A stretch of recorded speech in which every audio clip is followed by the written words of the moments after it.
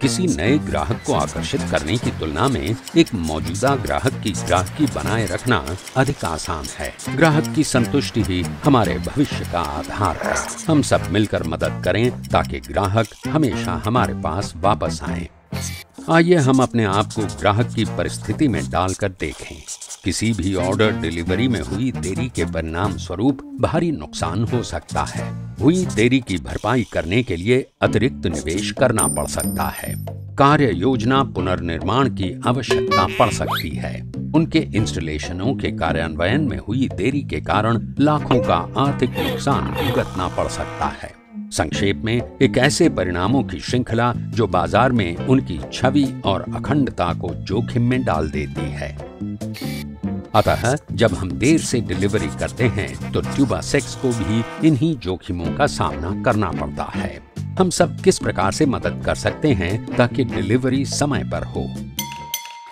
एक सक्षम कंपनी बनकर जो तेज़ी से प्रतिक्रिया दिखा सकती है। निर्णय लेने उपायों के कार्यान्वयन अवसरों की पहचान और साथ ही हमारे ऑर्डरों की डिलीवरी में हमें कुशल और दक्ष बनना पड़ेगा। क्योंकि एक संतुष्ट ग्राहक ही हमारा सबसे अच्छा मित्र बनता है। बिल्कुल ठीक। एक कुशल और दक्ष दल बनने के लिए हमें अवश्य ही इस प्रशिक्षण की योजना का पालन करना होगा। ध्यान केंद्रण। हमारा लक्ष्य है हर परिस्थिति में सर्वप्रथम होना और हमें अवश्य ही उत्पाद की गुणवत्ता और हमारे दलों की सुरक्षा के प्रति अपनी प्रतिबद्धता से हटे बिना ये करना होगा। एकता हर एक चुनौती टीम की चुनौती है। हम एक बहुराष्ट्रीय समूह हैं जिसमें विभाग दल और कंपनियाँ एक दूसरे पर निर्भर हैं। हमें न केवल अपनी गतिविधियों में तेज़ी लानी है, बल्कि हमें अवश्य ही सबसे कमज़ोर की सहायता भी करनी होगी। दौड़ तभी समाप्त होगी जब हम एक साथ पहुँचेंगे।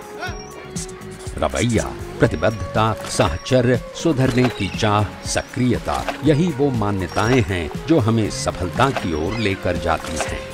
दल को हमारे ऑर्डरों की क्रमगत उन्नति के बारे में सूचित करते समय हमारी प्रक्रियाएँ एवं नियंत्रण स्पष्ट और कड़े हों और समय पर डिलीवरी करने के सक्रिय उपाय अपनाएँ